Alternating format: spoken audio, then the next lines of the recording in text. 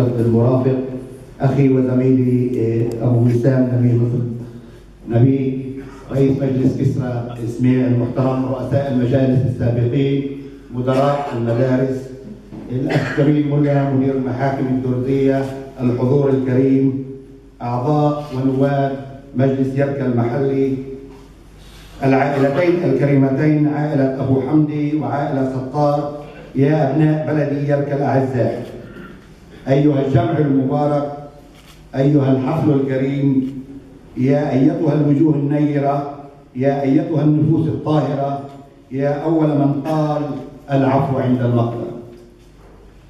إن خير ما أستهل به هذه الساعة المباركة واللحظة الحاسمة الفارقة في تاريخ هذا البلد الطيب هو قول الله عز وجل وتعاونوا على البر والتقوى ولا تعاونوا على الإفك والعدوان. صدق الله العظيم. وقال رسوله الكريم عليه الصلاة والسلام ألا أخبركم بأفضل من درجة الصيام والصدقة والصلاة؟ إنها إصلاح ذات البين. وقال بعضهم ليس التسامح من سمات لئام إن التسامح شيم للكرام يبقى التنازع للنفوس مذلة والصلح يبقى سيد الأحكام. أيها السادة الكرام إن الإصلاح بين الناس عبادة عظيمة. يحبها الله سبحانه وتعالى وإننا ديننا الشريف العظيم يتشوق إلى الصلح ويسعى له وينادي إليه.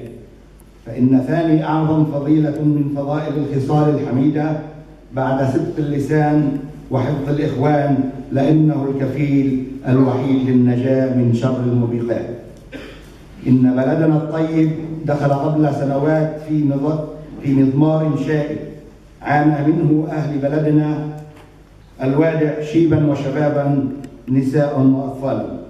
والكل بات ينتظر هذه اللحظة المباركة التي سعى لتحقيقها أهل الخير والصلاح وكل أصحاب الضمائر الحية الذين يغارون على مصلحة القرية وأبنائها. ونحن بدورنا كمجلس في هذا البلد الخير. سعينا ولا نزال نسعى إلى تقديم كل ما بوسعنا من أجل نشر روح التآخي والمحبة والتسامح بين أبناء البلد الواحد وإبعاد الضغينة والحقد والبغضاء من قلوب سكان قريتنا الحبيبة.